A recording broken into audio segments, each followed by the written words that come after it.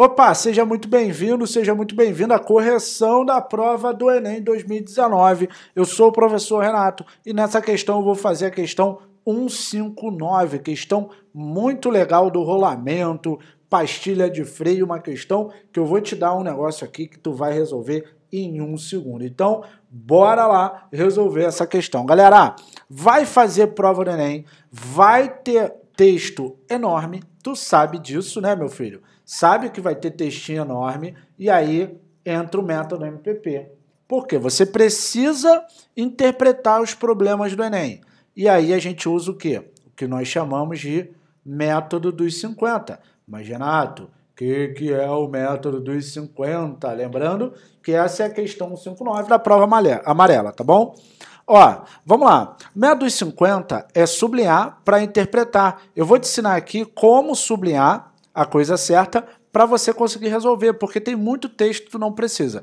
Vai lendo, ó, o grande bizu é você ir direto no que ele quer saber. O que, que ele quer saber? O item 2015 cadastrado foi um Cara, beleza, vou voltar lá.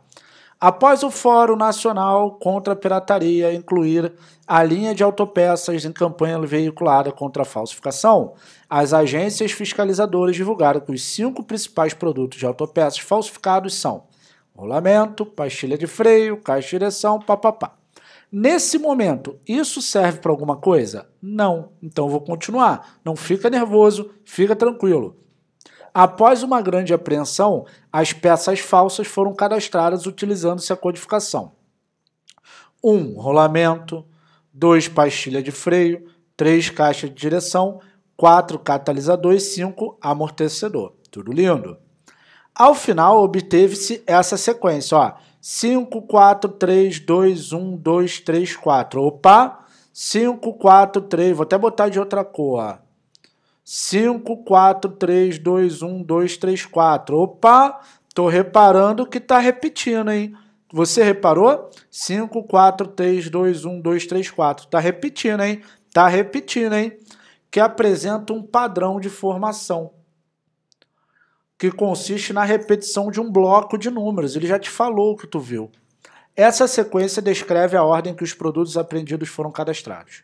Aí ele quer o 15, o, o 15 modo, o item 2015. Aí você, meu Deus, como é que eu vou fazer? Galera, isso é uma questão de ciclos. E questão de ciclos é muito simples. Por que é uma questão de ciclo? Porque você tem elementos se repetindo em ciclo. E qual é o ciclo? Eu vou botar aqui, ó, 5, 4, 3, 2, 1, 2, 3, 4. Foca só nisso. Galera, Toda questão que você identificar que é ciclo dessa situação, você vai fazer isso. Primeira coisa, pegar só um ciclo, né? um ciclo, que é o que está repetindo, e vai numerar aqui, ó, vai colocar 1, 2, 3, 4, 5, 6, 7 e 8. Por que você vai numerar ali, galera? Porque aí você descobre o tamanho do ciclo, de quanto em quanto ele está se repetindo, ou seja, ele está se repetindo de 8 em 8, tá bom? Aí você vai vir na posição que você quer. Você quer a posição 2015. 2015. Vai dividir pelo tamanho do ciclo. Qual o tamanho do ciclo? 8. O resto vai te mostrar o resultado. Quer ver? Ó, vamos lá, vamos dividir. 20 vai dar 2, sobra 4. Desce 1. 41 vai dar 5, sobra 1. 15 vai dar 1, sobra 7.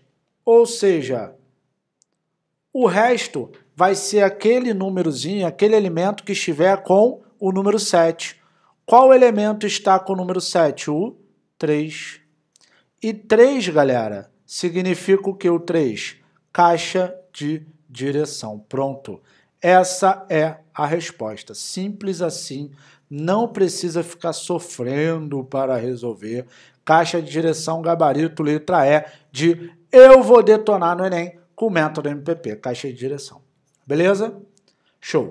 O que, que isso daqui, agora deixa eu te explicar. O que, que isso daqui significa? Que ele teve 251 ciclos completos, tá? 251 ciclos completos mais sete elementos do ciclo. Ele chegou a começar um novo ciclo. só que parou no sétimo elemento. Por isso que eu preciso me focar no resto, tá? Agora, deixa eu te dar um bizu para ficar redondinho, tá? Resto 8 não vai aparecer. Se o resto fosse 1, a resposta seria o 5, resto 2 seria o 4, resto 3 o 3, resto 4 o 2, resto 5 o 1, resto 6 o 2 e assim vai. Só que o resto 8 não aparece. Por quê? Lembra, deixe isso anotado no teu cabeção, cola, faz uma tatuagem no teu cérebro, velho. Isso aí, vai viver de tatuagem no cérebro para passar no Enem. E depois no vestibular também, cara. Na, no vestibular. Na faculdade também, tu vai ter que tatuar muita coisa no teu cérebro para não esquecer. Quando o resto for zero, pega a visão. Já tô até vendo você lá no campus, hein? Quando o resto for zero,